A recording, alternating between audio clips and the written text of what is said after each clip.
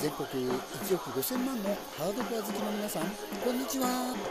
回避姿勢は斜め片手上げバンゾンです。今回叩いてみた Pay money To my Pain の Greed は短い尺でスピードサウンドともに正統派ハードコアを地でいくしびれる曲ですね。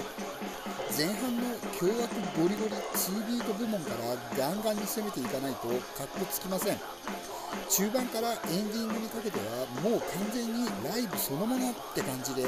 クリック一切ゴミ用のアッチェレランド。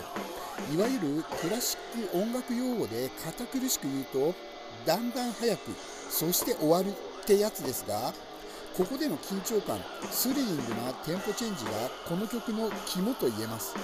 私は原曲を聴きながら叩いていますのでそのテンポ感を体に染み込ませつつ合わせているから問題ないですがバンドでコピーするとなるとここのテンポチェンジは完全にドラマーさんのフィーリングに委ねられその時のマインドに託される責任重大なパートです。ここで危機迫るスリリングさを出せるか